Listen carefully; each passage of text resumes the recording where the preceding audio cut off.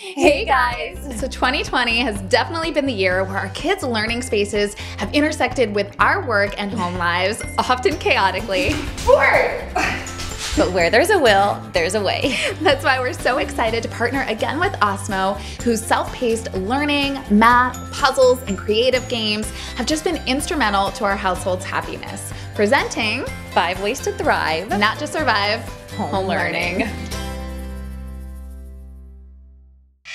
Number one, mom's mentality. We have to set ourselves up for success first. Yes. So, Laura, you will not believe this, but during the pandemic, I have become a morning person. No. Yes. Um, getting up between four and five in the morning um, with a little bit of help because I find that when I accomplish something first, I am so much more patient and present with the kids. Mom, What's up? can I help with this?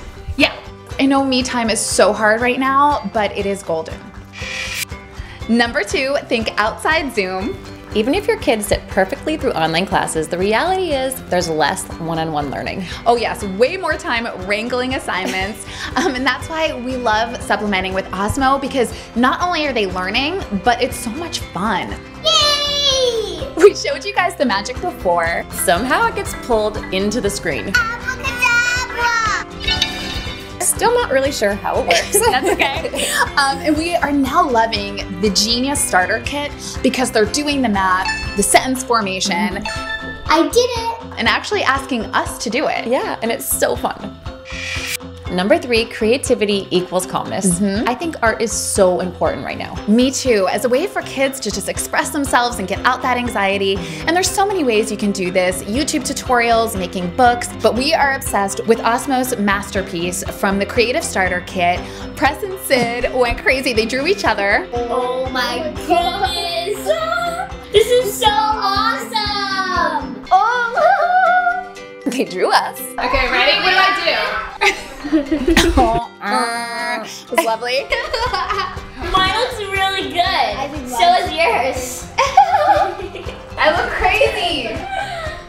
this is really hard, but fun. Um, and then Presley drew Boo Boo, and I was legit Oh my god. It's going up in a frame in my house. So good. Number four, my favorite, make it silly. Lighten up the learning environment with some much needed humor. We've done this before to rave reviews. And today, inspired by the Math Wizard game, we are Math Wizards. what? Who are you? I want you to pick a number. Now double it in your mind. Add six. Now divide by two. Now subtract your original number. Don't tell me what it is. You ended up with a number three. Yes!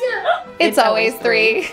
But in all seriousness, whether it's throwing on an old Halloween costume or just a blanket, these kids need to laugh right now. Ford, you are our math apprentice. What that mean? Number five, be forgiving. Rather than focus on perfection, which I'm definitely guilty of, try to cherish the small victories. Your kid may not be batting a thousand when it comes to Zoom school. Nope. but if they are learning to code and really enjoying the process and you can see the wheels turning, that in itself is so valuable. That's right. This is so awesome. I just changed this, and he finds his way.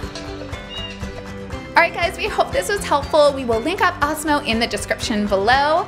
In the meantime, happy learning. Bye, guys. Stay sane.